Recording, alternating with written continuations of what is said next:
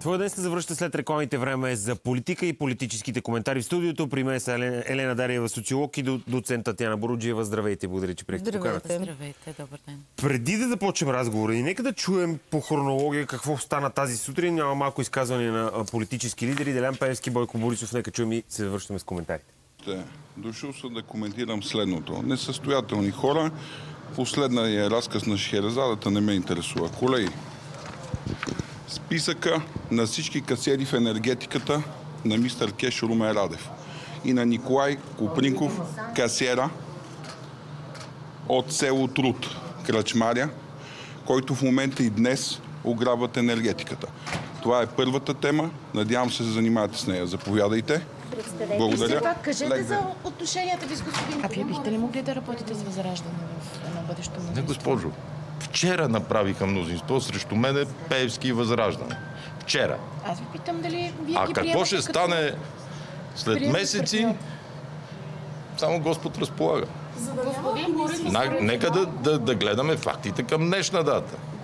Пеевски, Костадинов, Денков с едно. Така ли е? Иначе къде е логиката да хващаш някой кмет и да го докарваш в парламента, да го разпитваш? Какъв орган е парламент? Нямате отговори, аз нямам. господин Борисов, Момент. Певски с един лист за, дори нямаме време да ги прочетем, буквално преди 2-3 минути, с един лист за а, касиери в енергетиката. Вие наясно ли сте това, кои хора са или какво са? Касиери на Румен Радев. Касиери на Румен Радев. Как ще Ами, ги коментирате? Аз знам, че корупцията по високите етажи на властта последните 4 години не се води.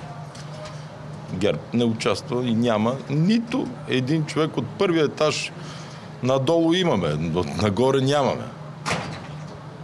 Бяха служебни правителства, бяха редовни правителства, така че не знам какво е оставил господин Пеевски, а да ви кажа честно и вече не ме интересува. И ще ви кажа защо, каква е моята логика и която ще изповядва ГЕРБ в тази кампания. За тези 4 години и седми ли са тези избори, кои са, ние чухме всичко отвратително, грозно, кое е истина, кое е лъжа, между всички лидери, институции, убихме си авторитетите и хаосът е пълен. Затова ние повече няма да се занимаваме с това. Кой е лош, кой добър? Първо има институции, но най-важното определят хората. Така. Не знам, трудно ми е да кажа откъде да започнем коментарите на тия две изказвания. Дайте да започнем от, от господин Делян Пески. Някакъв лист представи пред медиите, някакъв стен вестик, дъдзибал на имена.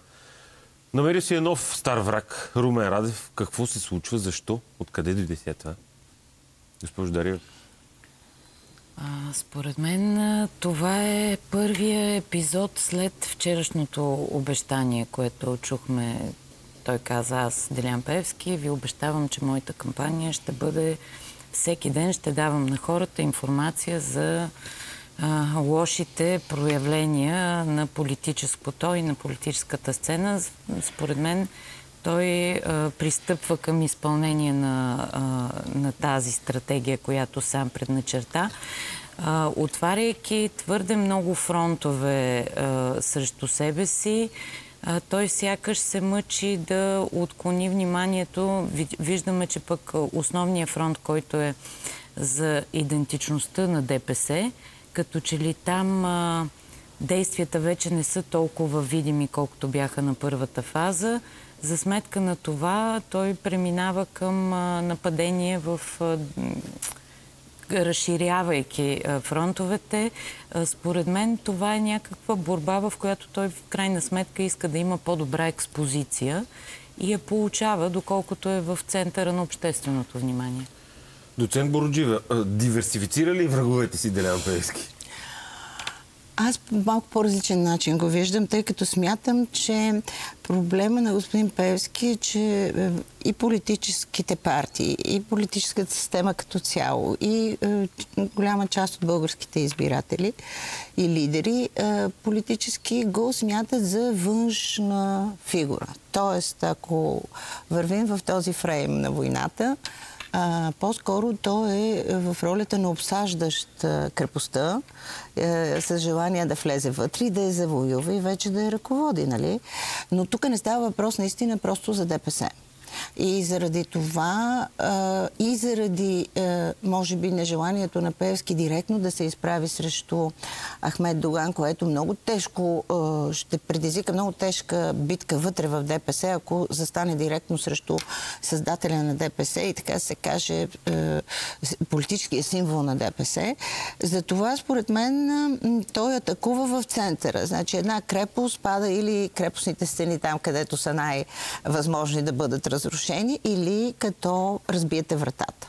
И заради това той се опитва да разбие вратата на политическото а, през фигурата, която в момента има а, висок рейтинг и която а, без да е част, защото вижте тази битка срещу Румен Радов на него му дава възможност да не се бие с никой друг от другите партии. Тоест, все пак да си запази.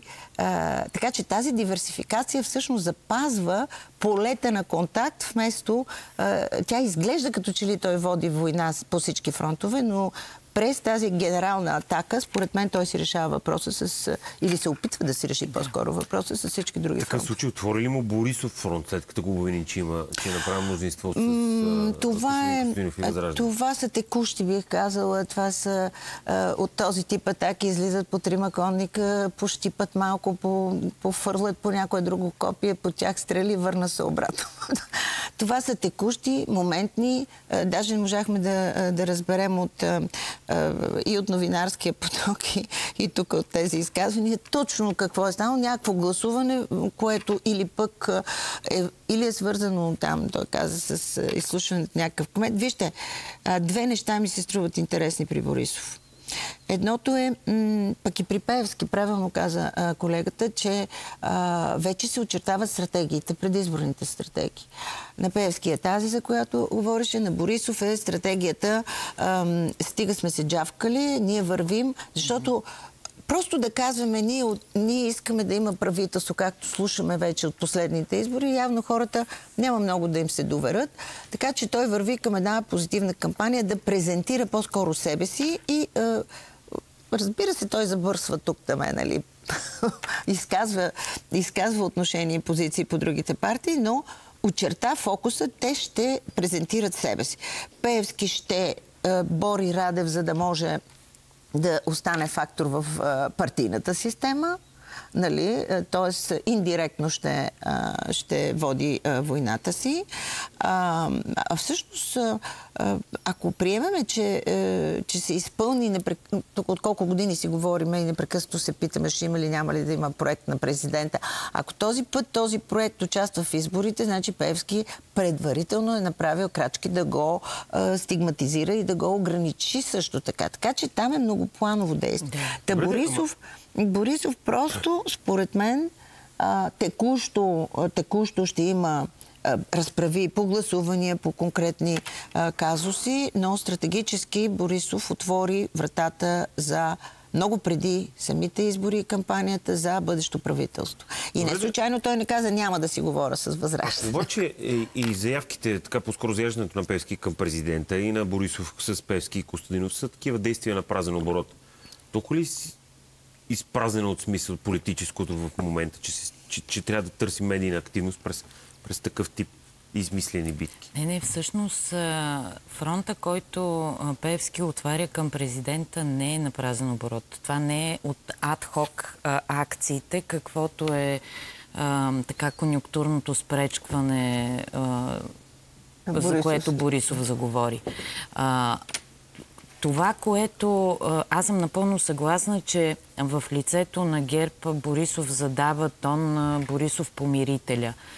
Не случайно той от няколко дни говори, че това вече са последните избори и отвъд тях трябва да бъде постигнато съгласие. Затова той наистина се явява носителя на позитивния тон, който предполага някакво сближаване на позиции и смягчаването на тона. А, в лицето на Пеевски пък там така или иначе той повече репутационни щети няма на къде да понесе. Той може да си а, позволи. Всъщност това, което, а, на което се надява да бъде задържан в а, политическия живот е предизвиквайки такива остри конфронтации и като си избереш най-силния враг, разбира се, ти се явяваш на ринга с силните. Ще, негативната кампания винаги а, привлича внимание. Тя дава възможност да си на фокуса на на фокуса на интереса на медии, на социални мрежи, на а, граждани. Много повече, отколкото позитивната, където кой е разбрал дълго време е необходимо хората, Да докато разберат какъв ще е ефекта от едно действие. И то може, колкото и да е позитивно, винаги може да бъде представено даже като негативно, за да привлечете вниманието и така. Но много е малка крачката и много е тънка границата между негативната и така наречената мръсна кампания. Защото, вижте, в негативната кампания битката се води с аргументи. Битката се води по същество, по някакви факти. Както беше изказването, примерно, на Борисов. Това е в рамките на негативна Умерено. кампания. Когато обаче а, се прекрачат тези граници, когато нямате спор по аргументация, по, по, А се по полета, а се започва hominem, Шехерезадата и тогава вече говорим за друг тип кампания. Така че в момента сме просто, виждаме е, израза на два, абсол... две абсолютно Две различни, различни кампании. да. Това означава ли напълно, че за- тотално игнорираме възможността за нещо да се случи с третия мандат? Тотално Но ли то е беше ясно още от самото Да. начало. И за втори и за третия мандат. Вижте, просто аритметика все пак. Всички сме учили математика в училище. И всички сме учили също така, а, как да кажа, в някакъв смисъл човешки взаимоотношения. Ако не сме ги учили, ги практикуваме ежедневно. Как можем да си представим, че ще се стигне до, такива, до такова положение, до такъв разрив. Как можем да си представим, примерно, че в къщи а, ти ще кажеш на баща си а, марш от тук, няма да живееш с мен и така, и утре, понеже ще дойдат социалните за нещо и ти трябва неговата пенсия, ти ще кажеш, ела да живееш. Няма как да стане тая работа. Просто така се бяха прекрачили границите, а и такива са аритметичните сборове, и такива са червените линии. Вижте, не бива да се сърдят, никой не бива да се сърди за това, че не стана правителство, им предвид от политическите сили. Ами те прокопаха Гранд Каньон между себе си. Да. Как да направят след това правителство? Защо? Каква е логиката да подкрепиш мен, ако аз теб не те подкрепям? И то нямаше де-факто преговори. И на фона на това остро противопоставяне между първите и тези много яростни противоборства се случва и допълнителната фрагментация в лицето на най-малките парламентарни групи, която се разпадна, разпада в ДПС. Всъщност всичките процеси, които наблюдаваме в 50-то Народно събрание, след а, 2 юли, мисля, че беше гласуването на първия мандат, от тук нататък всъщност разпада и фрагментацията само минимизира шансовете. Може да се каже, че още от 3 юли беше ясно каква е перспективата на следващите Част от коментаторите твърдят, че няма смисъл от нови поредни седми избори. Ще ли да произведат същото, което произвежда до момента. Само, че на мен ми се струва, че тия предните избори, тия, които минаха на 9 юни, не произведоха същото, което се беше Разбира се, че не това. Тотално различна беше ситуацията. Разбира се. Какво тогава може да очакваме от едни следващи избори? Най-вече въпросът е може ли да очакваме нови играчи, които да се появят тип величие, нещо такова изненадващо, което да, да, да влезе в парламента. И най-вече възможно ли е тъй като забелязвам как Възраждане се превръща бавно и сигурно в, тради- в такава традиционно систематична партия, да се получи пробив през а, а, стопляне отношенията на, на националисти с някои от големите групи. Вижте, ако погледнем, да започнем отзад напред, ако погледнем европейската а, практика, да не кажа традиция вече от а, почти десетилетие, а, нищо чудно, защото... Само наистина- трябва да ви прекъсна за секунда, защото има тежка катастрофа един загинал на автомагистрала Тракия. Лек автомобил и тир се удариха на 7 на седмия километър в платното посока София. Повече ще ни каже сега Запрян Запрянов, който включва от мястото на тежкия инцидент. Здравей, Зар. Здравейте! Наистина тежка катастрофа, за съжаление, се случи тук на автомагистрала Тракия малко след 8 часа. Ударили са се лека кола и тир, като според информацията, с която разполагаме, лекият автомобил се е врязал в задната част на тира, след което се е ударил в мантинелата. Това заявиха за нова от МВР. Ние разговаряхме и с спешна помощ. Каква информация получихме от там? Сигналът за происшествието е подаден в 8 часа и 23 минути. За по-малко от 10 минути на мястото на происшествието е пристигнал екип на спешна помощ. На 6 км се, в посока София на автомагистрала Тракия се е случила тази катастрофа. За съжаление имаме и жертва. Шофьорът на лекият автомобил е леко ранен. Той е на 58 години. Неговият син е бил на дясната седалка, той е загинал на място. На задната седалка е имала майка, е имало майка с две деца на около година. Те обаче, за щастие, нямат наранявания. Доста тежко е движението в района. Виждаме, че все пак се пропускат леки автомобили. Но за хората, които сега пристигат със своите автомобили в този участък от автомагистрала Тракия, пътна полиция ги отбива през Нови хан, преди обратно да излязат на автомагистрала Тракия. Такава е информацията, с която разполагаме към този час. Ние оставаме на място. Благодарим ти, Заро. Тежка катастрофа на магистрала Тракия. Един загинал. Продължаваме да следим ситуацията. Надяваме се, че няма да има повече жертви. Връщаме се към коментарите в студиото, политическите коментари. Финални думи и от а, двете ни анализаторки. Госпожо Дарева, от вас. Кажете ни каква е вашата прогноза. Очевидно отиваме на нови избори, очевидно отиваме в средата на а, есента. Можем ли да очакваме предвид разположението на политическите сили, сили очевидното им, така как да кажем, порастване към факта, че не трябва да има такава разделение между тях преди изборите, да, да видим кабинет най-накрая?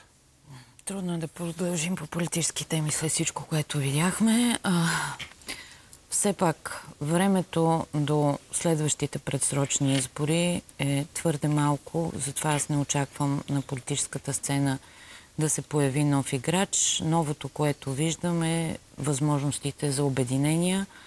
В БСП вече зададоха подобен тон. Аз мятам, че подобни обединения ще видим и в националистическото поле, така наречените патриотични партии и нищо чудно да го видим и в дясно-консервативния спектър, по-малки политически формации да се коалират с цел да подобрят представенето си на следващия въпрос. Доцент Борджиев. Съгласна съм, че по-скоро тенденцията е да се върви към обединение, което само по себе си е добър знак за това, че по друг начин ще се върви към съставяне на правителството и отговорно за това, защо се влезе в парламента. А, моите съболезнования и моля ви, карайте внимателно, бе хора. Карайте внимателно. Няма за къде да се бърза. Много ви благодаря. Елена Дариева и доцент Татьяна Бороджиева. Говорихме си за политическата обстановка в страната. Чухте мнението на експертите. Отиваме на нови избори. Надяваме се, че политическите партии ще се озрели за някаква форма на обединение и най-накрая да видим стабилен кабинет с хоризонт от 4 години реклама.